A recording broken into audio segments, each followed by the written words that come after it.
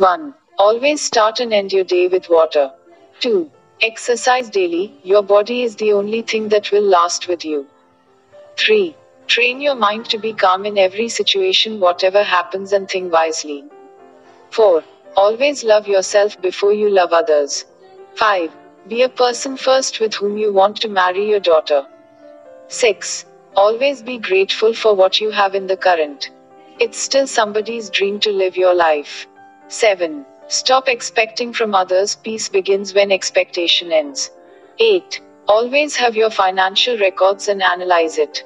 9. Stop judging and start observing. You will explore a new dimension. 10. Cell phone should not be first or last thing of your day. 11. Always make your bed as soon as you wake up. 12. Never leave food in your plate. A child dies every 5 seconds because of hunger. 13. Learn table etiquettes. Push and keep chair in same position after having your food. 14. Hold the door for person behind you. 15. Chew properly before you swallow. Thanks for watching video. Please like the video to support me and subscribe the channel for weekly episodes on personality development updates.